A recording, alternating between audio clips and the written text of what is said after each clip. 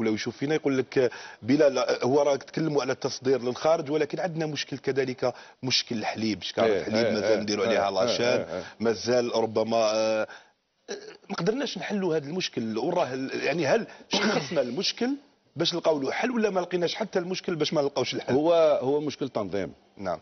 هو القدرات اللي موفرتها الدولة من بودره الحليب واش رانا نستوردوا كميات كبيرة يعني عرض يكفي ويزيد.